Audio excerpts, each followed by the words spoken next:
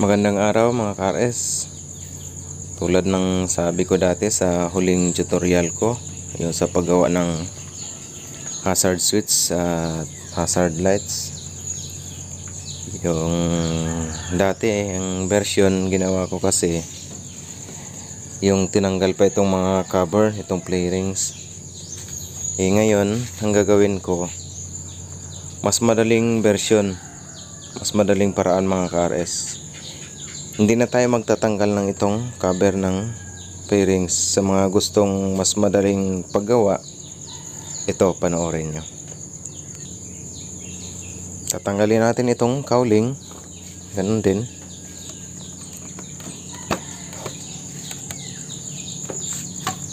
Lagay muna tayo ng tela para hindi magasgas. Ganyan. Tatanggalin muna natin cowling itong sa version na ito mga kares uh, hindi na tayo mag aabala pang tanggalin itong itong cover. Kasi dati tatanggalin natin ang cover kasi papalitan yung hazard relay yung nakalagay dito. Dito sa version na ituturo ko ngayon hindi tayo magpapalit kundi magdadagdag tayo ng isa pang relay pero mas sigurado, dapat gamitin, gamitin natin yung kaya niya rin magpailaw ng apat na lights. Ito, tulad ng yung sinabi ko, halos pareho sila ng specification sa original na relay. Pero nung sinubukan ko, kaya niyang pailawin mga kares ang apat na lights ng signal light. Kaya ito, ipapakita ko sa inyo magdadagdag tayo ng ganito. Mas madali. Mas madaling trabaho kasi ito lang yung bubuksan natin. At maglalagay ng switch dagdag flasher lang. Yung dati ganun rin. Halos ganun rin ang paraan mga kares. Ito yung tatlong wire na galing sa hazard switch natin ito sa hazard switch natin, iba-ibang kulay yan. May kulay blue, white, and red. Sa iba, mayroon pang yellow. Depende sa ano. Pero huwag kayo mag-alala mga kares. Uh, yung kulay naman yan, pwede naman yan magkabalik-baliktad. Kaya nga ito, uh, isang kulay lang ginawa ko kasi pwede siyang magkabalik-baliktad. Then, next natin gagawin, itong tatlong wire, i-separate natin ang isa. Yung dalawa dito natin i-connect sa itong light blue pati orange na wire. At nakalagay sa itong socket na itim. Sundan nyo kung saan galing. Dito yan galing. Dito sa signal light indicator. May wire siya. Ito yung malaking wire na yan na nakabundle uh, nakapaloob dito sa parang tube na ito hose. Papunta siya dito. Ito. Sundan nyo lang. Dito may cover na guma ito dati eh. Tulad ng ito na in-improvise ko. Ito nag sa RS natin nag-iisang itim ito. So dito nyo makikita yung left and right na signal light yung wire na yan. Pag nakabit nyo dyan yung isang wire ang gagawin papuntang ito may ginawa na akong isang wire na binalot ko ng electrical tape. Yan kung may shrinkable tube kayo, heat shrinkable tube, much better.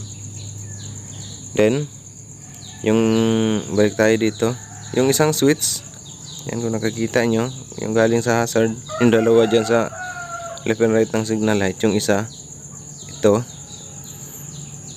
ikakabit mo dito sa sa relay, flasher relay. Yung letter L, dan, dyan natin ikabit yung nanggaling dito sa may hazard switch. So, ganyan siya. yung wire na galing sa hazard switch isang wire ikabit natin dito sa may letter L yan letter L load or light ata yung ibig sabihin yan and then ang isang wire itong letter B. Dito rin natin ikabit. Gawa tayo ng isang wire. Ito yung papunta sa accessory. Ng motor natin accessory wire. So ito babalutin ko muna ng electrical tape. Ngayon naman hanapin natin yung accessory wire ng itong RS natin. Itong accessory wire natin ay dito kung sundan nyo ang wire nya ang linya is galing ito sa itong sa ignition switch. Dyan hanapin nyo. Ito siya. Yung sa kabilang ito kabilang bundle yung malaking socket dyan. Itong katabi rin ng itim. Yan ang nakalagay. Itong black. May red na may stripe na black. Then pure na red. Ito yung accessory mga kares. Itong black na may stripe na blue. Diyan natin i-connect itong itong isang wire na galing dito sa relay natin. Bale, diyan natin i-connect ganyan. Ah, bale, gagawa ako ng parang drawing, ilalagay ko lang dito kung paano ba i-connect yung parang diagram. Yeah, para naman may masundan kayo mga ka-RS.